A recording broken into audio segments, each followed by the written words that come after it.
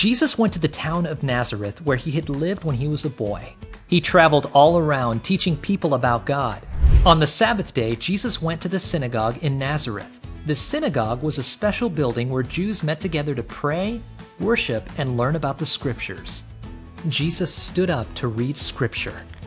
He unrolled the scroll of the prophet Isaiah and read, The Spirit of the Lord is on me. He has chosen me to tell good news to the poor.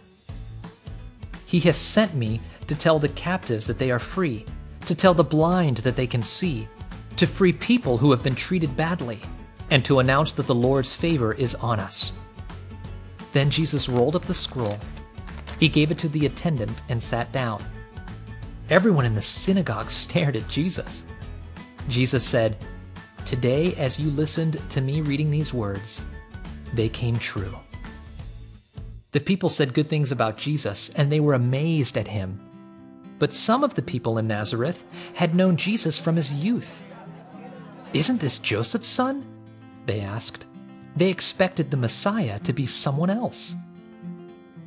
Jesus said, No prophet is accepted in his hometown. Jesus told the people about times when God used prophets to help people who were not Jews. He reminded them of Elijah and Elisha.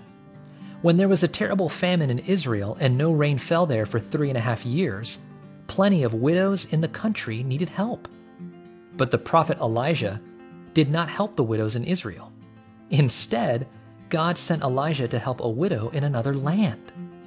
And when Elisha was a prophet, many people in Israel had leprosy. They wanted to be healed, but Elisha did not heal them. Instead, he healed a man named Naaman, and Naaman was from Syria, a country that hated God's people. The people in the synagogue were angry. They forced Jesus out of town.